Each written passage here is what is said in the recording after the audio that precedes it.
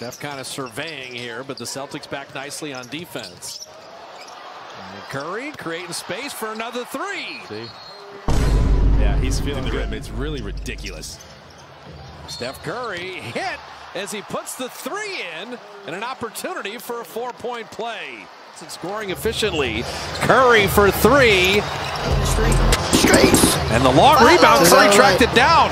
Reload three. Yes, sir. He's not gonna Dirty miss land, two in a dirty row.